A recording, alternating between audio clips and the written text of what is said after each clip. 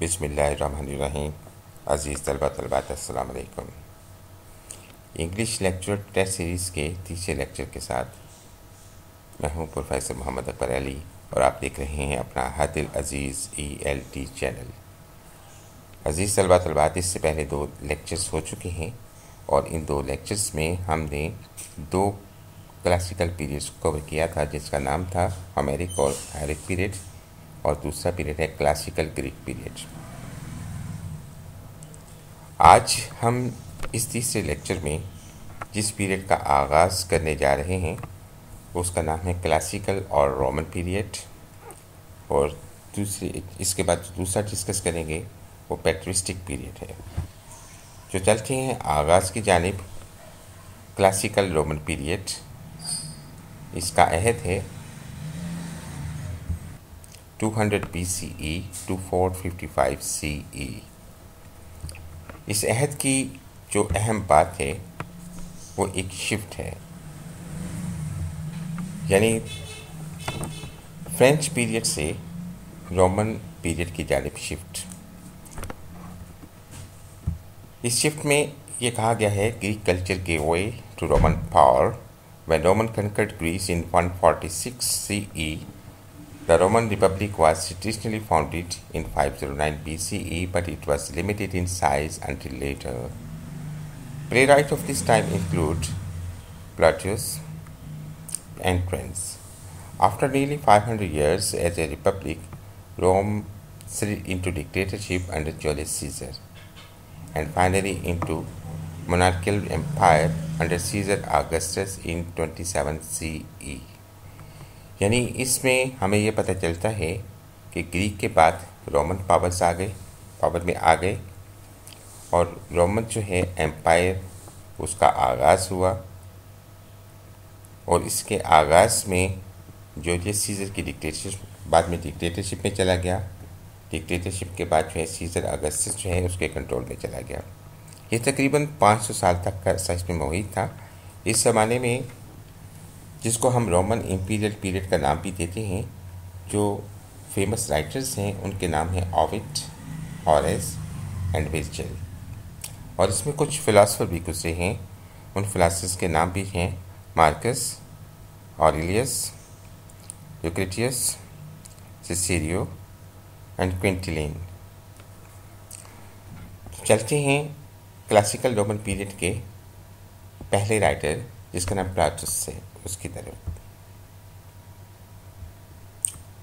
Pilatus जो है, Roman play right था और इसका ताल्लुक ओल्ड लैटिन पीरियड के साथ है।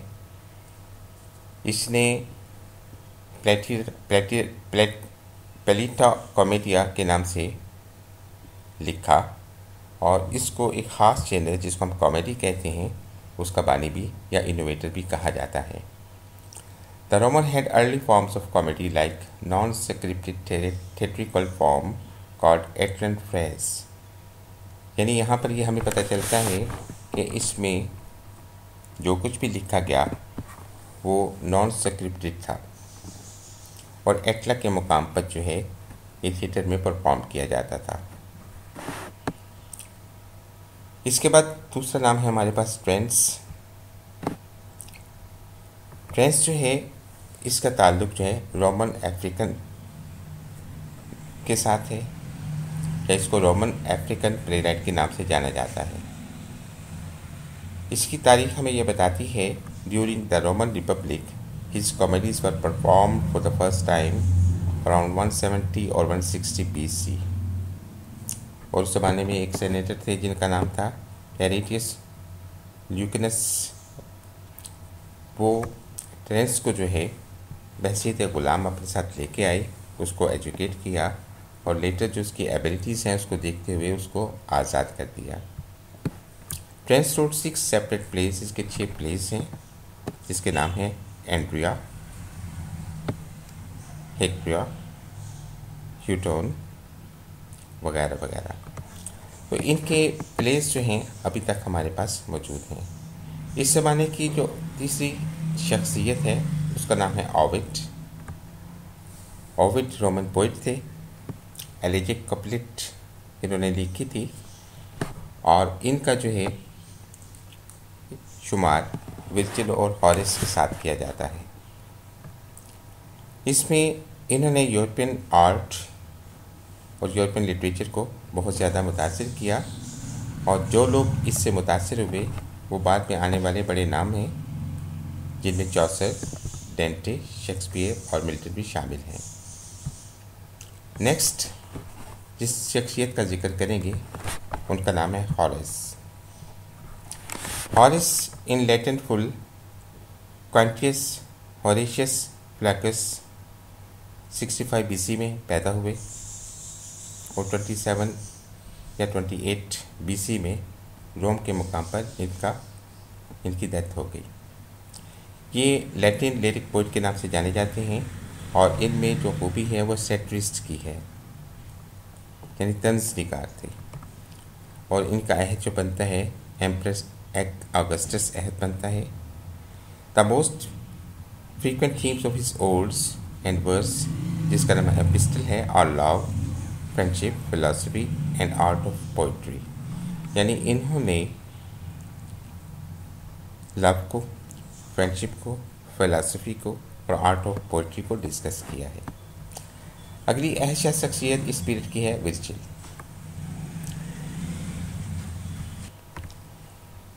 विजिल की शख्सियत जो लिटरेचर पढ़ते हैं, वो जानते हैं कि वो किसी तारफ़ की मोहताज नहीं।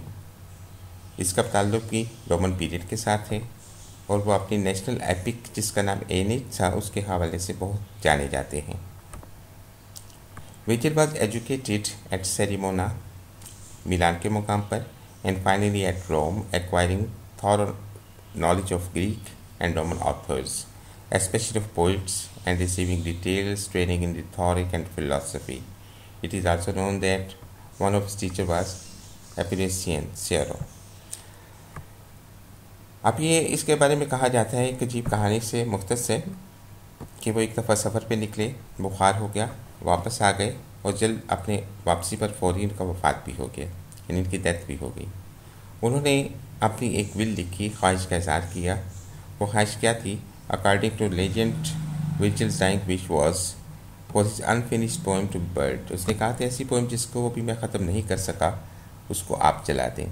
But this was overruled by Augustus लेकिन उस ज़माने के जो किंग थे अगस्टस उन्होंने इस बात को ओवर रूल कर दिया। The Aeneid was written during a period of political unrest in Rome the Rome Republic had effectively been abolished, and Octavian Augustus Caesar had taken over the leader of the new Roman Empire. Then it was written to praise Augustus by drawing parallels between him and his protagonist Aeneas. ये इस ज़माने की अच्छा शख्सियत हैं और उनके जो काम वर्क जो हैं वो एनेट एक्लियस और गोजियस हैं। नेक्स्ट हमारे पास नया आगाज़ होता है, नए दौर का। इससे पहले आपको बताते चले जाएँ कि आप लोगों ने इस चैनल को यकीन पसंद किया है। इसको आपने लाइक भी करना है सब्सक्राइब भी करना है, अपने कमेंट्स भी देना है। ये दौर जो है प्रीस्ट दौर कहलाता है।